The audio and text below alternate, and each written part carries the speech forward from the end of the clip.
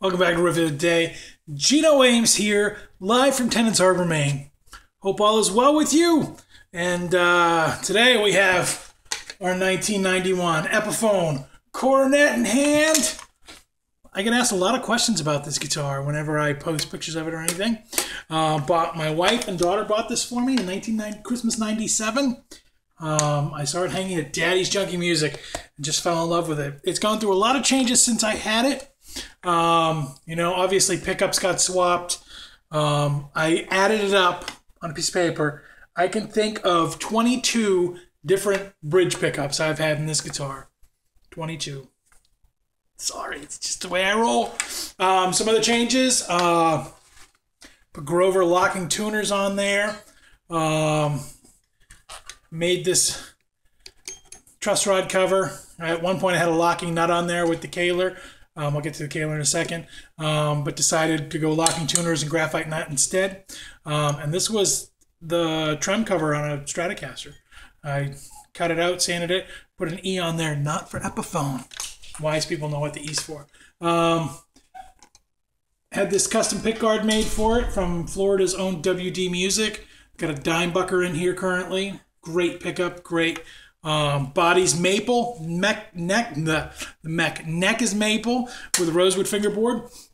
Um, got the Kahler on there. Uh, used to have a stop tailpiece like a Gibson Les Paul. I decided I wanted a trem on it, and I was flipping through Guitar World magazine and I saw a picture of Jerry Cantrell for Kahler, and it said, "Win a Kahler, join our mailing list." And I must have been the I was, I kid you not, this was on like a Tuesday, and I was like, "Oh, I'll do that." So sent, join their mailing list. Thursday, they contacted me and said, "You're this month's winner." So I was probably the only fucking person who signed up that month, but who cares? Got a Kahler on there, routed it out, and she's great. You can do all kinds of, you know. A lot of people like the Floyd.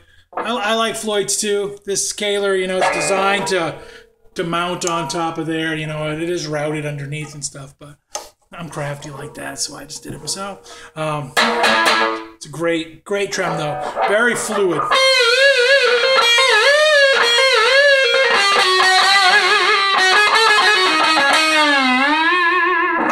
One great thing about it is you can rest your hand on it. Nothing happens. You know, Floyd sometimes they will fluctuate and stuff like that. And you can pull that sucker up. I could keep going. I get 10 through 60 gauge strings on here because I like this guitar in drop D.